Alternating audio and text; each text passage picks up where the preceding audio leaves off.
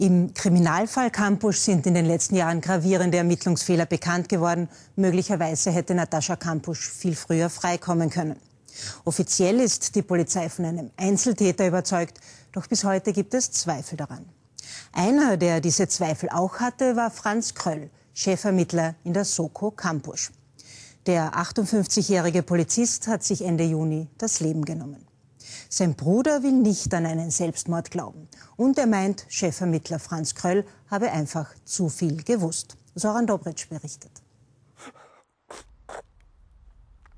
Der 56-jährige Grazer Karl Kröll trauert um seinen Bruder Franz. Laut Staatsanwaltschaft Graz hat sich der steirische Vorzeigepolizeioffizier Oberst Franz Kröll am 25. Juni erschossen. Franz Kröll war zuletzt Leiter jener Sonderkommission, die die Ermittlungen im Fall Kampusch überprüft hat. Für den Bruder des verstorbenen Kriminalisten ist dessen Tod aber noch lange nicht aufgeklärt. Ich glaube es heute noch nicht, dass er Selbstmord gemacht hat. Weil vor 14 Tagen bevor dem Tod haben wir noch telefoniert, ein Freund und mir. So, wir fahren Kroatien runter zum Weingarten und das und das. Und der gesagt, er ist im Krankenstand und, und ihm geht es ja gut. Und ja, und auf einmal ruft man Kriminalbeamter an und sagt, der Bruder hat sich erschossen. Da sage ich, das, das glaube ich nicht. Der ist erschossen worden, dann lacht er blöd. Hier im Erdgeschoss dieses Hauses am Stadtrand von Graz hat Franz Kroll alleine gewohnt. Zuletzt war er im Krankenstand, bereitete sich aber für einen Urlaub in Kroatien vor. Doch am Abend des 25. Juni erschießt sich der Polizeibeamte. Die Kriminalisten finden auch einen Abschiedsbrief. Für die Ermittler ist der Fall somit geklärt. Doch der Bruder will das nicht glauben.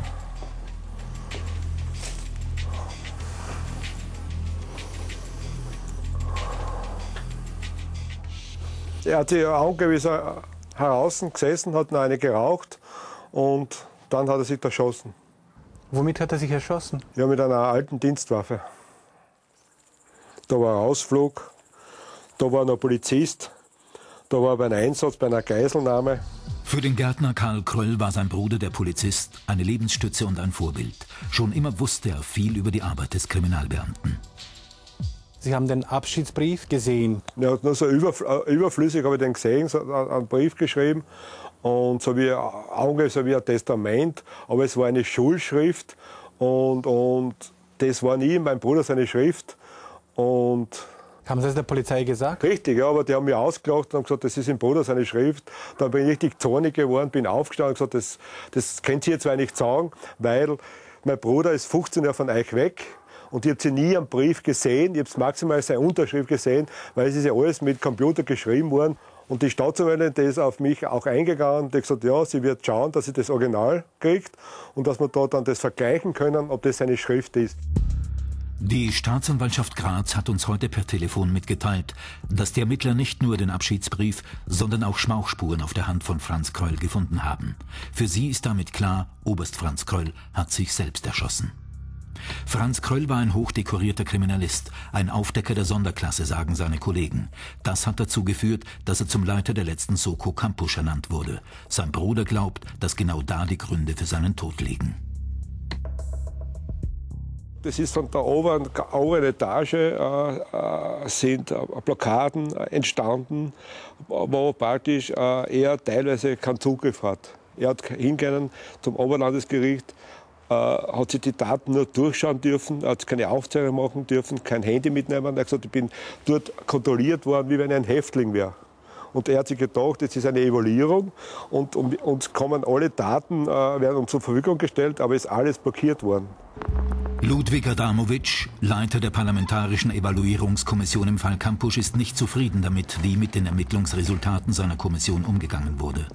Mit dem verstorbenen Oberst Franz Kröll hat er zusammengearbeitet. Auch er hat öfter erlebt, dass der Soko-Chef mit den Ermittlungen unzufrieden war. Ich habe ihn als, als äußerst äh, gewissenhaft äh, eingeschätzt, also ein sehr äh, scharfer Denker, es, er war sicherlich in manchen Situationen ein, ein bisschen äh, frustriert, das war deutlich äh, zu sehen. Aber das ist äh, auch schon alles. Er war ein, ein harter und gewissenhafter Arbeiter. Was hat ihn so frustriert? Was haben Sie ihn gefragt? Naja, äh, frustriert hat ihn äh, die ganze Causa, weil man immer wieder auf Fragezeichen gestoßen ist, die man nicht aufklären konnte. Karl Kröll hat den Wohnungsschlüssel seines Bruders. Nach dessen Tod geht er in die Wohnung und stöbert in den Dateien von Franz Kröll. Unter anderem auch in dem Akt Kampusch. Er nimmt den Laptop und einen USB-Stick mit geheimen Daten mit. Als er davon einem Beamten des Innenministeriums erzählt, wird er inhaftiert, weil er die Kampusch-Akte angeblich verkaufen wollte. Wenn ich das Campus-Geschichte verkaufen nicht wollen, dann hätte ich alles anonym machen können und, je, und irgendwann das geben. Aber so habe ich gesagt, ich stehe zu meinem Bruder, ich bin sein Bruder und ich gehe mit meinem Namen gehe in die Öffentlichkeit. Und, und jeder hat gesagt, dann wirst du einmal eingesperrt, so ja, mit denen wir rechnen. Aber ich werde schauen, dass die Wahrheit einmal ins Licht kommt, sonst geht das nicht. Zu den Vorwürfen von Karl Kroll hat uns das Bundeskriminalamt heute mitgeteilt, es sei eine Mutmaßung des Bruders, dass es sich hier nicht um Selbstmord handle. Die Arbeit von Franz Kröll sei keinesfalls behindert worden. Das BKA habe dazu nicht mehr zu sagen. Der Akt Franz Kröll sei einzig und allein bei der Staatsanwaltschaft Graz gelegen und seitens des Gerichts geschlossen worden. Ich glaube, dass da irgendwer dabei war, dass das praktisch alles äh, vertuscht ist worden. Weil mein Bruder hat sicher das, hätte sicher aufklären können, er hat relativ sehr, sehr viele Sachen aufklären können, wo praktisch jeder gesagt hat, da gibt es nichts mehr. Und, und, und ich glaube halt, dass der Bruder, das am Computer oben ist, dass er die Sache aufklären kann. Tausendprozentig. Karl Kroll will weiter um die Rehabilitierung seines Bruders kämpfen und erreichen, dass die Umstände seines Todes neu untersucht werden.